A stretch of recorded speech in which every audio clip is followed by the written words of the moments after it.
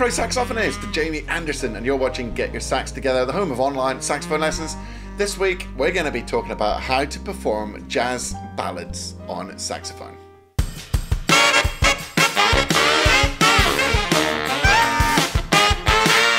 I've got a whole bunch of really cool tips for you uh, which is really going to help you performing jazz ballads on saxophone. But just before we get there, um, I do a performance later on of Misty, and I'm using the Better Trax backing tracks by your friend and mine, Mr. Jay Metcalf. Big up, Jay. Love the merch as well. Um, and actually, if you go to the Better Trax uh, website and put in the code JA20, you'll get 20% off your backing tracks. So, pretty cool. I'll put the link in the description for you to click on that. Also, I'm running a series which is just opened yesterday. It's a series of three masterclasses and it's called Make Your Sax Sing. And it's really appropriate for today's lesson because it's all about the non note elements which are really going to take your sax expression to the next level. So, articulation, tonguing, vibrato, bends, scoops, grace notes, you name it, growling. It's really going to be an awesome trip.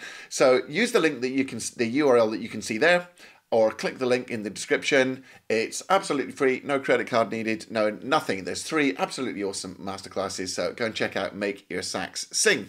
And finally, when you do look at the uh, the performance at the end or in the intro, I should reassure you that that is not real cigarette smoke. People, get your sax together does not condone smoking, even in the context of a um, stereotypical jazz club.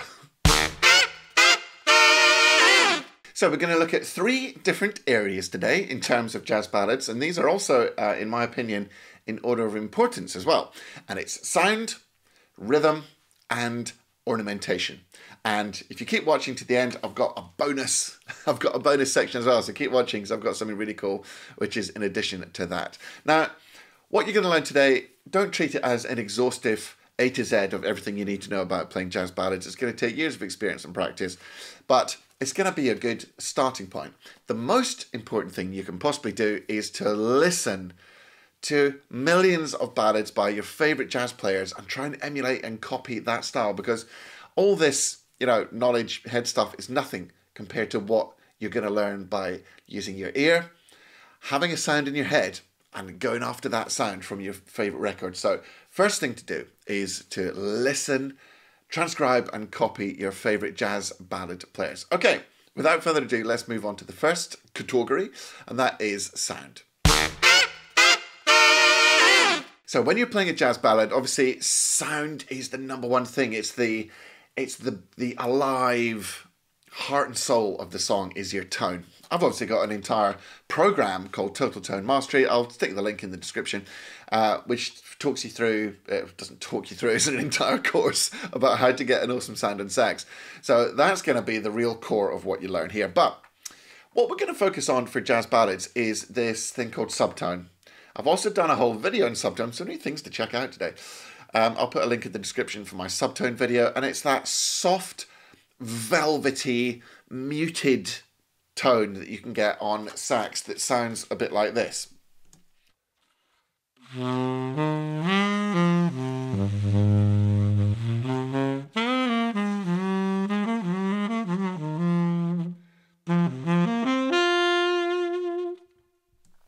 Now, very often subtone is associated with a low register because you can really clearly hear it in the uh, low register but it's also a way of playing across the whole range of the horn. You can play subtone everywhere to get that silky sound, even up high.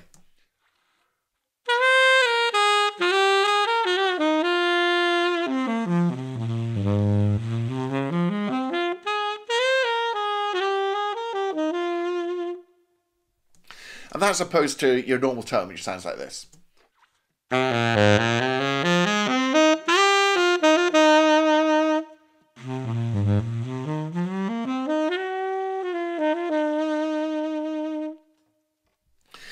Do subtone, it's all in the video I've made, but you're going to take in less mouthpiece, you're going to blow softer, you're going to move your bottom jaw back, and you're just catching those those low frequencies of the sound to make that v, that v, v, type tone.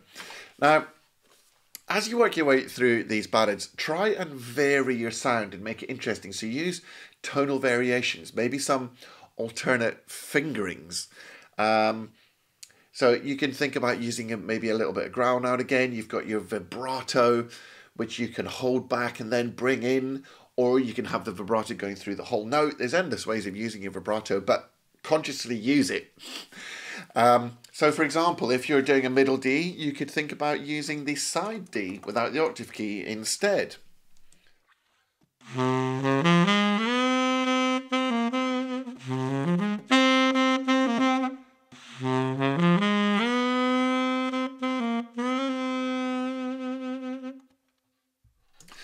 So you're thinking about really, you know, thinking of your, your sound as like an alive beast, almost like a plasticine beast that you can shape and mold for this song. That's really going to make a big difference. The other thing you can you can do, of course, with your sound is to to make use of dynamics. So most of the ballad you're going to be playing, you know, at a low volume because that's what ballads are. They're like mellow and romantic, so it's going to be quite a low volume thing. But you can start notes quietly and shape them or you can bring out certain notes, especially as you as you go up higher for dramatic effect. So really consciously think about using your sound as this alive entity that you can mold and really communicate the sort of beauty and emotion of this song with. Okay, the next thing to talk about, the second category is rhythm. Now, when you're thinking about ballads, you'd think, oh, it's just a nice slow tempo, no problem, no worries. But actually, the slower the tempo, sometimes the more difficult it is. So don't be fooled into thinking just because the tempo is slow, like 60 BPM or something, that you don't have to focus on your rhythm. In fact, as the ballad progresses, you should be thinking in double time through the whole thing. So if it's one and two and three and four, you're thinking.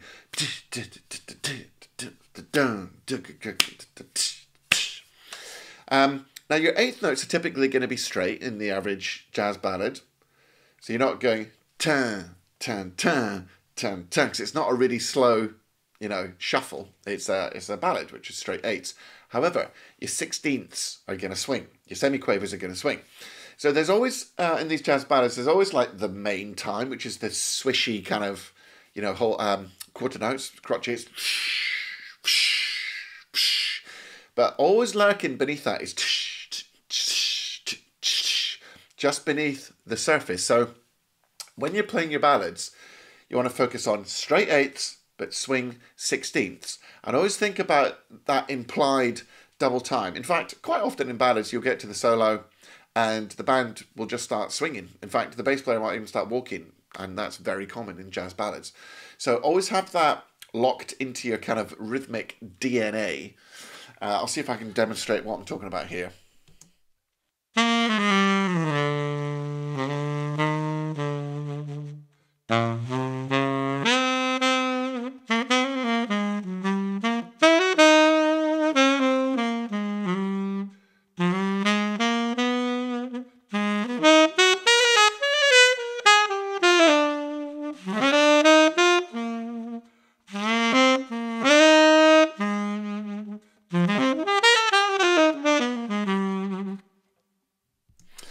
So in actual fact, there's that quadruple time as well.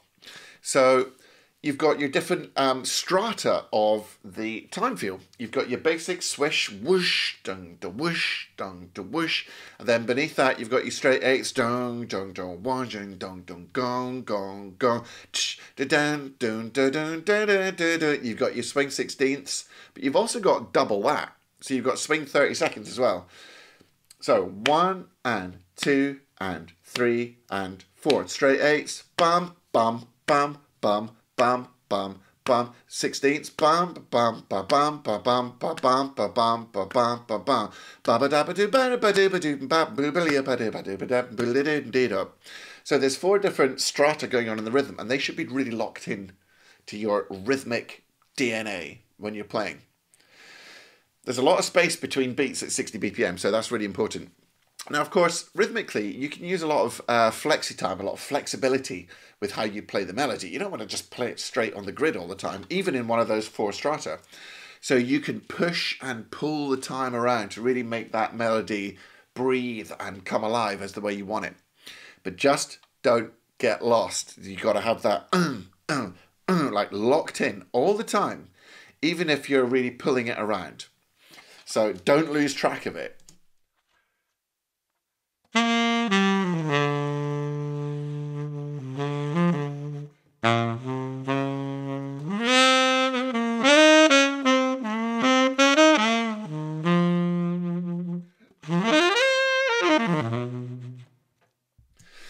You do, whatever flurries, however you push and pull it, keep the main tempo locked into your body and you can't go well i was about to say you can't go too wrong you really can with jazz ballads but try and really focus on the rhythm and uh, think of it in double time and quadruple time to really to really lock in the tempo at all times even when you are playing flexi time. Okay the third category the third category is ornamentation and this is how you enhance and add things to the melody all right? Or you know how you because most people aren't just going to play the melody but this is really important. Never obscure the melody too much. You know you're you want that melody you want to present that melody as beautifully as you can. So you can use turns you can use bends you can throw in little licks you can um, especially you can vary what octave you're going to play that melody in but never lose track of uh, communicating the beauty of the melody itself. So, for example, let's look at these things uh, one, at, one at a time. So, turns. Let's do an example of turns. That's just playing the note above and then the note or the note below.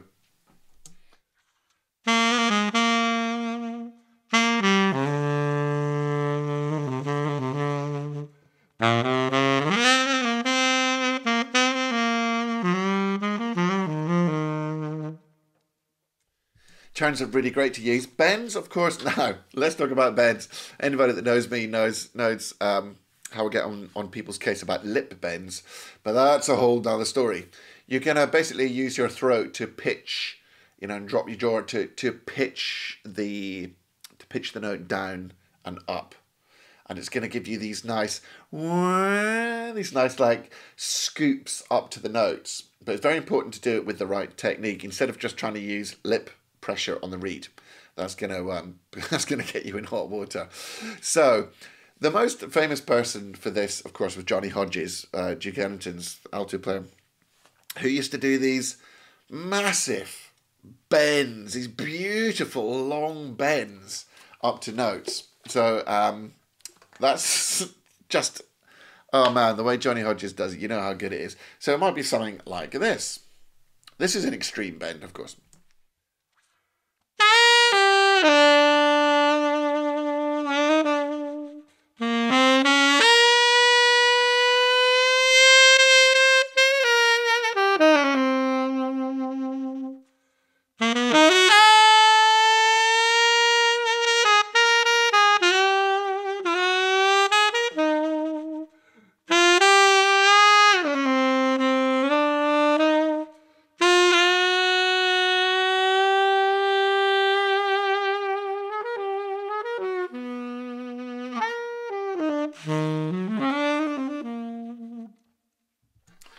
that leads me quite nicely on to the next thing, which is little licks, little phrases.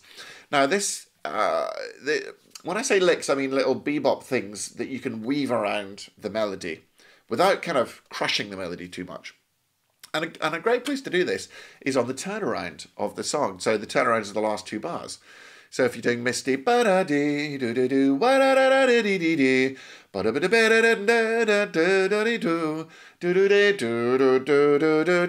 Then you've got two bars on that melody note where nothing happens. So you can hold the note, you can do some little licks around it, and uh, fill out the gaps. That's a really nice way of using uh, bebop and uh, other language during your ballad, jazz ballad performances. So I'll play the very last bit of the tune.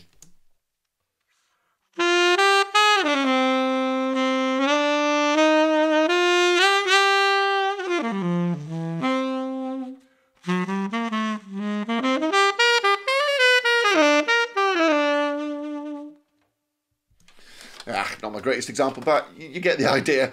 Uh, and then you can weave the melody back in at the start of the you know the next section. So that's a really cool way of of using licks. And like I mentioned before, uh, sell the melody, but sell it, you know, with augmentation that you like to do that's going to really reflect your character.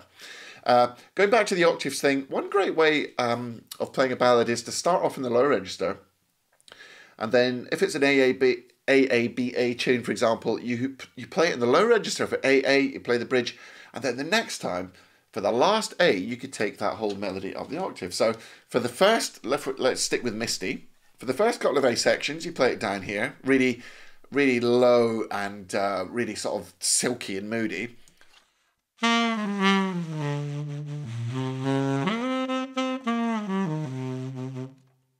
You can really harness your subtone. And then after the bridge, you can take it up.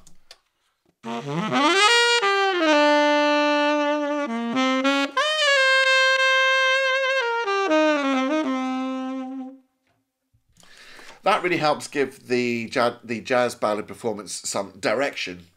And um, because there's three repeated sections, it's nice to do something different. So that's what I've got to say about ornamentation. Remember, always let the melody lead the way. Okay, let's move on now. And I've got a special little bonus section. So, first of all, in the bonus section, let's talk about the elephant in the room, which is the lyrics. Now, this is assuming that you're playing um, well known jazz standards, which of course are mostly songs with lyrics. So, you know, this gnarly old this gnarly old chestnut, should you know the, the lyrics of the song, many people will insist that it's very important to know the lyrics of the song if you're going to play that ballad really nicely. And uh, many people did that, most notably, I think Lester Young, maybe Dexter Gordon, I can't remember, but um, Personally, I don't know the words for every standard that I play. I know some of the words for Misty. Uh, Look at me, I'm as helpless as a kitten up a tree. And then I can't remember the words, but at some point it goes, Or is it the sound of your hellos? And do do do do. I get misty the moment you're near. On my left, and a thousand violins begin to play. Uh, that's all I can sort of remember. I know a few lines of it. But you can judge for yourself because I'm going to perform Misty just in a second, and you can tell me if you think it's any good or not. And I can't remember all the words. So I have this rather controversial theory about learning lyrics when you're playing jazz ballads, which is, I think, it's a little bit of Emperor's New Clothes. I don't believe, not that I'm going to call anyone out, but I don't believe that everyone knows the words for every jazz ballad that they play. I think it's a useful thing to do because it can give you the shape and the phrasing and the right notes and the number of syllables and it can really help you express the melody and even give you you know a sense of the mood and the meaning of the song as well so i'm not saying it's unimportant i think it's a great thing to do but i still don't think everyone does it i'm just calling it as it is and uh, let's put it this way um, I, I've never felt it's hindered me playing a nice jazz ballad. You can judge for yourself. So there's me, Mr. Controversial, about learning the lyrics. Uh, some other general points before I perform Misty for you. And that is when you go about doing a ballad, consider the mood of the jazz ballad. There's lots of different ways of playing a jazz ballad. For example, someone like Sonny Stitt would play it more like a bebop number with kind of half time instead of just walking bass. So he'll bebop all over the place and kind of birds a bit like that as well. Or other people, like let's say Wayne Shorter, um, they'll just keep the same hypnotic mood through the whole thing. This kind of, you know, it's almost like still and meditative. And that's what I like anyway. Um, so you kind of keep this even mood. It never goes into double time swing. You know, there's no there's no sort of drama in that sense. Or maybe there is drama if you do a song like uh, I don't know, um, Round About Midnight, the, the famous Miles version has got that ba ba ba ba ba ba um, so you can perform your ballad in a dramatic way. You can have a really quiet section, and then shkabap, ba. You know, you can really bring a dramatic section out, and you'd have to talk about that with the band. So consider the overall mood of how you're going to perform that, that ballad, and there's more than one way to go about it. Just bear that in mind. And finally, before I perform this for you, full with full black and white mood and jazz club smoke, here's the most important thing of all. Here's if you do nothing else, this is the most important thing about playing a jazz ballad on sax. You've got to express, you know, what's in your heart and soul.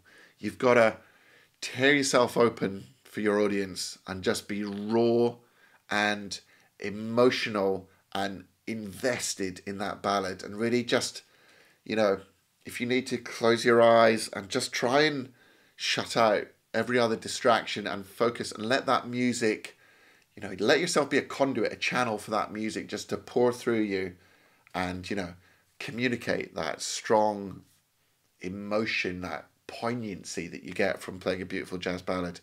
Let yourself go with it. That's what this instrument is all about. Don't be afraid to lay yourself on the line. So express what's in your heart and soul. Now, talking about expressing what's in your heart and soul, don't forget to go and check out the uh, the Make Your Sax Sing masterclasses that I've got going on right now because that is really going to help you tap into your heart and soul in a way that communicates beautifully to your audience.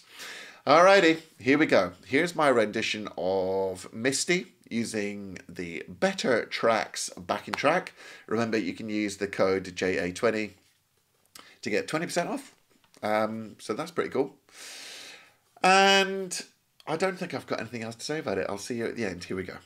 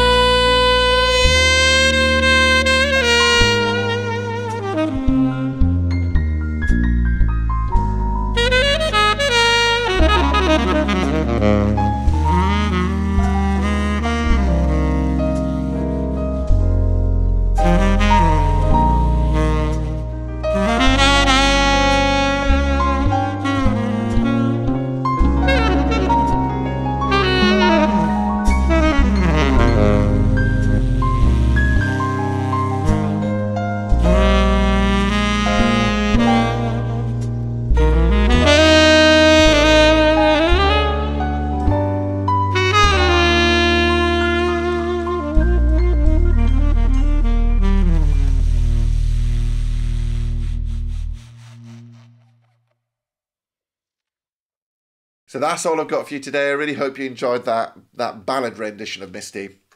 One more time, all the stuff is in the description to get your Better Trax. Um, all all the backing tracks are wicked actually. Jay does a great job. So um, big up big up Jay Metcalf. Shout out to Jane and uh, the Better Sax team. And I've got the masterclasses, which are right now make your sax sing. That's going to help you with all these expressive elements. That's only for a limited time, mind you. So remember that, limited time only. But all the time, you can go and check out my Saxophone Success Masterclass using the URL there. And finally, for all of you that have bought me a coffee, I really, really appreciate it. Thank you so much. You're so generous. And it helps our lowly little saxophonist, saxophonist, and YouTuber um, stay caffeinated and stay happy. So thanks very much. Until next week, well, we're going, oh, I forgot to say, we're going Christmassy next week. So if Christmas is not your thing, apologies.